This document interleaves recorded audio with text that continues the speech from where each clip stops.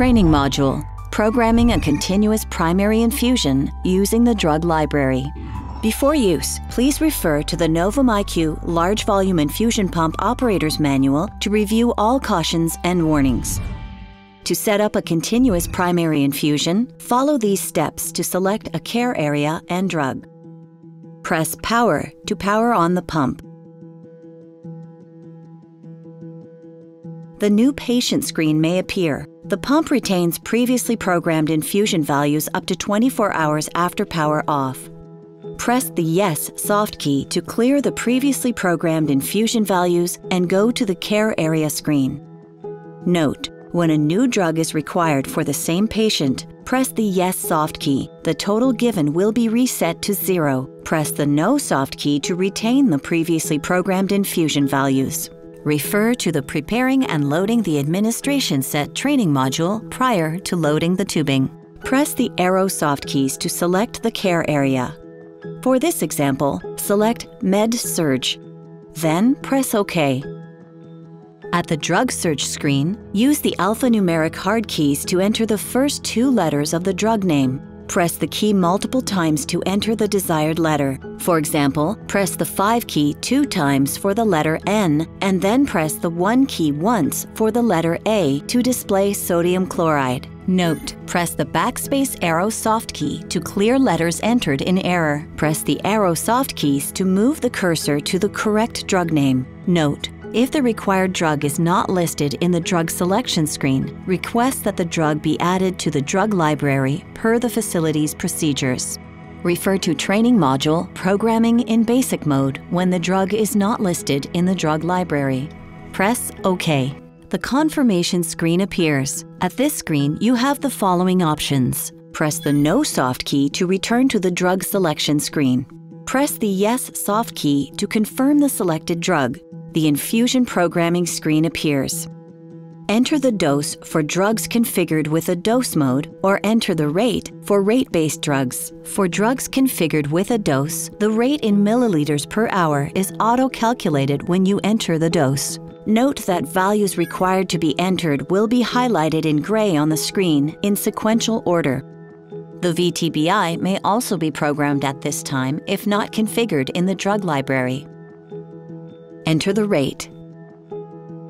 Press OK to confirm. Note, the dose or rate entered is checked against the limits configured in the drug library. A limit alert will appear if the value entered exceeds configured limits. Enter the volume to be infused, VTBI, then press OK to confirm, or confirm the pre-programmed values and press OK. Time parameters are automatically calculated when you enter and confirm the VTBI. Review the values for the displayed drug to make sure that they are displayed correctly on the screen. Note, verify that the total VTBI does not exceed the volume in the container. Press the Run Stop key to start the infusion. The check flow screen will appear to allow you to verify that the infusion is flowing.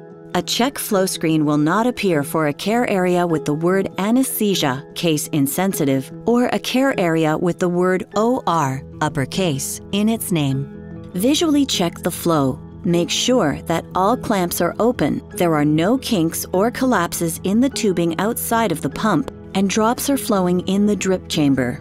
At very low rates, it takes several minutes to see drops. At this screen, you have the following options. Press the Yes soft key if all of the above conditions are confirmed. Press the No soft key if no drops are flowing. If the No soft key is pressed, a screen appears to remind you to verify that all clamps are open and to check for kinks in the tubing and occluded catheters. This screen appears briefly and is followed by the primary check flow screen. You can confirm the flow from this screen. VTBI change during an infusion. The volume to be infused, or VTBI, of a continuous infusion may be changed without interrupting the infusion.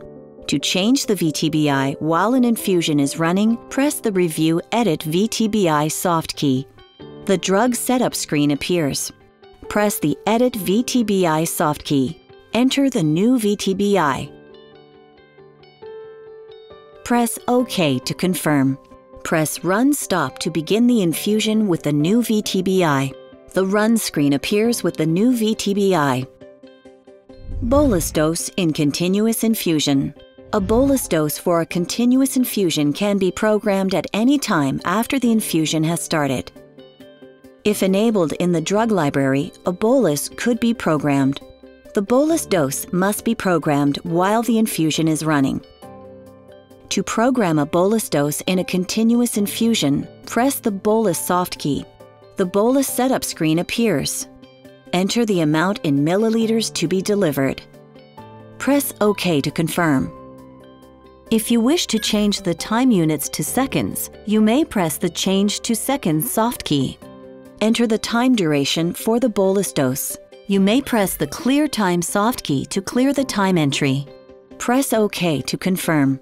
Both the amount and time are checked against the limits if they have been configured in the drug library.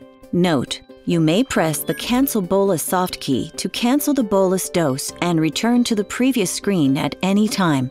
You may press the Edit Bolus soft key to change the entry. Press Run Stop to begin the bolus dose. The bolus run screen displays the amount of the bolus dose given, and the running bar color changes from green to blue. Press the Review Bolus soft key to review the entry at any time during the bolus. Note, the amount given increases until the total bolus amount that was programmed has been delivered. The primary infusion resumes automatically when the bolus dose has been delivered.